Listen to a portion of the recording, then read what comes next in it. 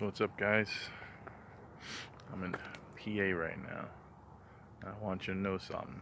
I went to Jersey, four ticks. Went to New York, three ticks. Pennsylvania, so far zero ticks. Uh, be careful when you're in Jersey and New York, because uh, there's some kind of tick infestation over there. But uh, so far so good in Pennsylvania, no ticks.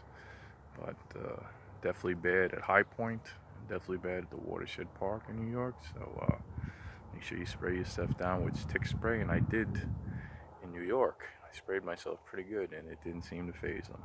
But public service announcement: watch out for the ticks.